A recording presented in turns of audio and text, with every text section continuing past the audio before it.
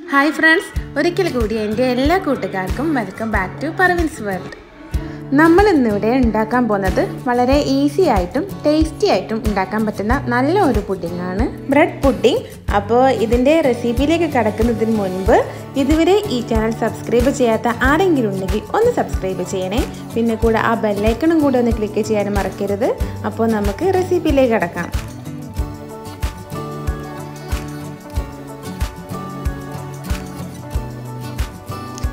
അപ്പോൾ ആദ്യം നമുക്ക് ഇതിലേക്ക് കുറച്ച് ബ്രെഡാണ് ആവശ്യമായിട്ടുള്ളത്.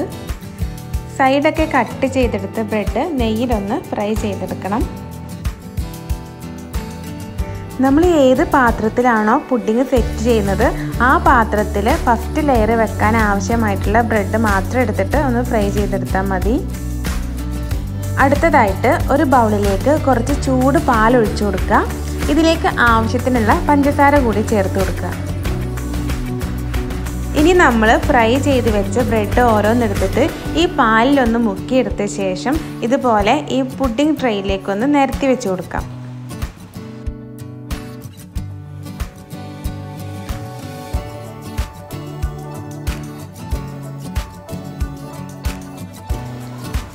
ഇനി നമുക്ക് ഒരു അര ലിറ്റർ പാലെടുത്തിട്ട് നന്നായിട്ടൊന്ന് തിളപ്പിച്ചെടുക്കണം. ഇതിന്റെ കൂടെ തന്നെ കുറച്ച് തണുത്ത പാലിലേക്ക് മൂന്ന് ടേബിൾ സ്പൂൺ കസ്റ്റാർഡ് പൗഡർ ഇട്ടിട്ട് നന്നായിട്ട് മിക്സ് ചെയ്ത് മാറ്റി വെക്കുക.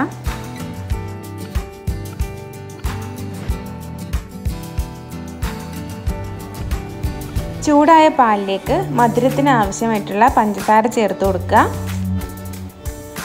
ഇതിലേക്ക് നമ്മൾ റെഡിയാക്കി വെച്ചിട്ടുള്ള ആ ഒരു കസ്റ്റാർഡിന്റെ കൂട്ടുകൂടി ഒഴിച്ചിട്ട് നന്നായിട്ട് ഇളക്കി കൊടുക്കുക.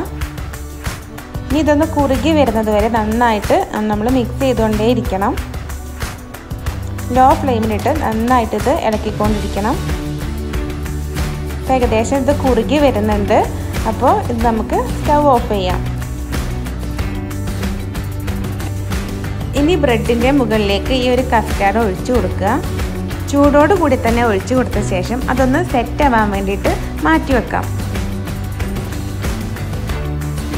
ഇനി ഇതിന്റെ മുകളിൽ നമ്മൾ ക്രീമിന്റെ ഒരു ലെയറാണ് ഉണ്ടാക്കാൻ പോകുന്നത്. അതിനായിട്ട് ഒരു കപ്പ് വിപ്പിംഗ് ക്രീം എടുത്തിട്ട് നന്നായിട്ടൊന്ന് ബീറ്റ് ചെയ്തെടുക്കുക. ഇതിലേക്ക് ഒരു രണ്ട് ടേബിൾ സ്പൂൺ മിൽക്ക് മെയ്ഡ് കൂടെ ആഡ് ചെയ്യുക. അപ്പോൾ കേക്കിനൊന്നും ബീറ്റ് ചെയ്യുന്ന മാതിരി ഒരുപാട് നല്ല തിക്കിൽ ബീറ്റ് ചെയ്യേണ്ട. ഈ ഒരു പരുവത്തിൽ ബീറ്റ് ചെയ്തെടുത്താൽ മതിയാവും. കസ്റ്റാർഡ് ഇവിടെ ഏകദേശം സെറ്റായി വന്നിട്ടുണ്ട്. അതിന്റെ മുകളിലേക്ക് നമുക്ക് ക്രീമിന്റെ ലെയർ കൂടി ചേർത്ത് കൊടുക്കാം.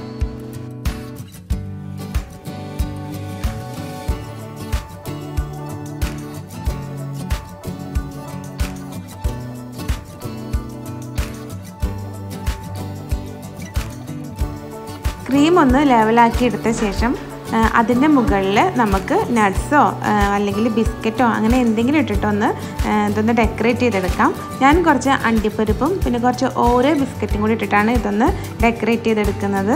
അപ്പോൾ ഇതാ നമ്മുടെ പുഡിംഗ് ഇവിടെ റെഡി ആയി കഴിഞ്ഞു.